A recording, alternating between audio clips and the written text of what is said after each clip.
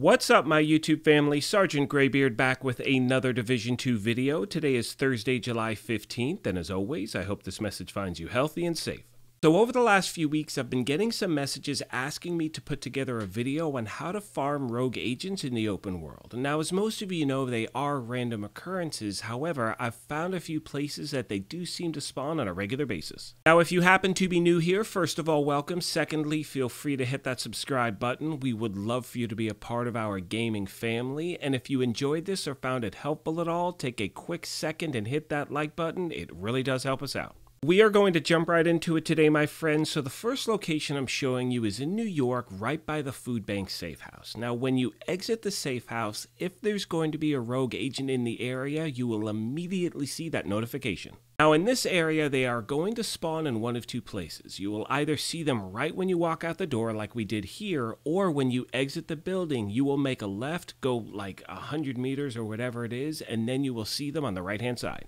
One thing I've heard from a lot of you out there is that the main reason you enjoy farming these rogue agents is due to the quality of loot that you're actually getting when you face them. Now, keep in mind, the quality is going to be dependent sometimes on the actual difficulty that you're playing. You can see here I'm running this on heroic difficulty with no directives, and for me, I mean, here's a beast of a shotgun right there. I'm typically getting at least one god rolled or close to god rolled item each time I do face a rogue on heroic, so again, it's definitely worth your time. Who's this guy? I got a new friend, look at that. So once again, this happens to be the most consistent spot, for me at least, to find rogue agents in the open world. However, as all of you know by now, the main goal here is to try to help each other out in any way we can. So if you have any other places you'd like to farm, please let me know in the comment section down below.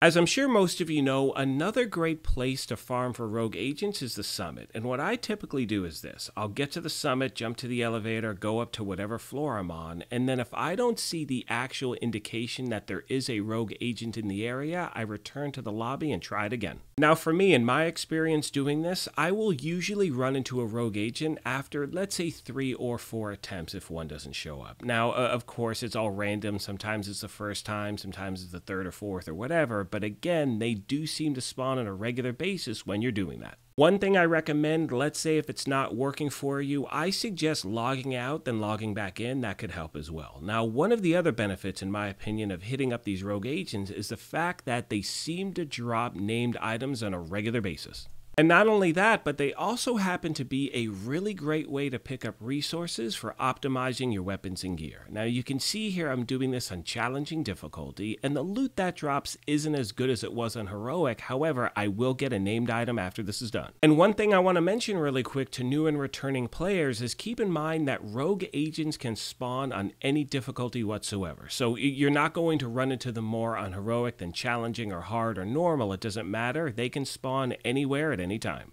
The next question I want to answer in regards to, you know, farming rogue agents is what type of a build do I use? So you can see here I'm using a skill build. It, really depends on the difficulty and where I'm actually farming. I think on most of these I'm using a skill build, but I also have, you know, a Hunter's Fury Scorpio build that I'll use as well. The only thing that really matters, in my opinion, when it comes to what type of build you run is you want to have something equipped that you're comfortable with. Because keep in mind, you know exactly what you're doing when you're farming. You're going after rogue agents, so you want to make sure you're comfortable with what you're running so you have no issue taking them out, regardless of the difficulty. The next farming method that I've had really good luck with has been control points. Now, I happen to have two that I seem to find these guys on a regular basis on, and those are Sleeping Giant, as you can see here, and also MLK Memorial Library. With that being said, I've also heard from a lot of you out there saying Navy Plaza is a great place, so is Toxic Alley. So, again, my friends, any places you enjoy farming that you have good luck with, please let me know in the comment section down below.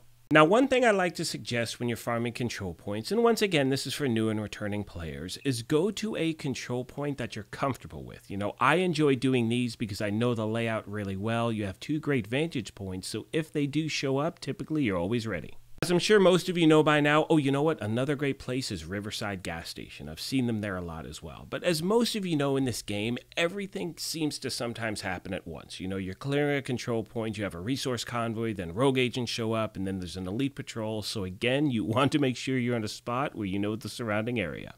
Now, I want to make sure I mention before I finish the video that you can obviously farm missions as well. However, for me, I don't really see consistent missions where I seem to find rogue agents. I mean, I've had luck with Lincoln Memorial and a few others, but nothing on a regular basis. With that being said, my friends, I would love to hear from you if you have missions you like to farm and you see, you know, these rogue agents spawn on a regular basis. So once again, let me know in the comments section down below. We'll pass it along, and I think that's going to do it for this video. At this point, I'm going to let the rest of this thing play out. However, as always, I want to take a moment and thank you all for your amazing support of this channel. You guys are incredible. I love the community and family we're building here, and I sincerely appreciate your taking the time and watching the content. As I mentioned at the beginning of the video, if you happen to be new here, feel free to hit that subscribe button. We would love for you to be a part of our gaming family. If you enjoyed this, you could hit that like button as well, but most importantly, Take care of yourselves, be kind to each other, and we will talk to you soon.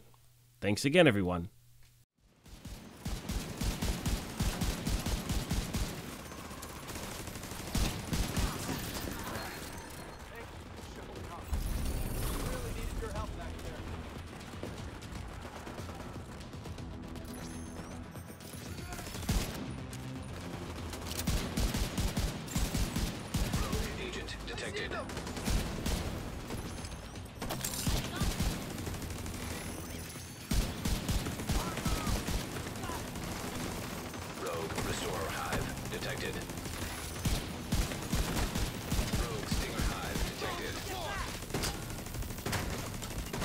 Rogue Defender Drone detected.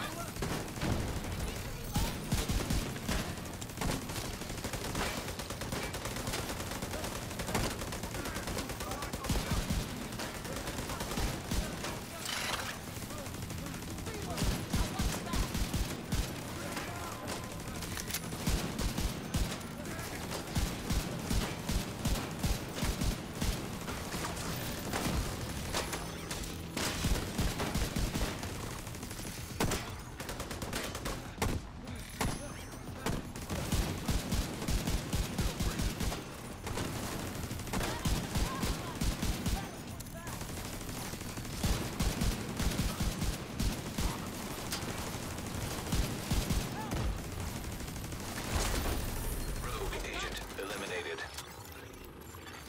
Supply room access unlocked. See what a farmer can do? Don't leave yourselves open.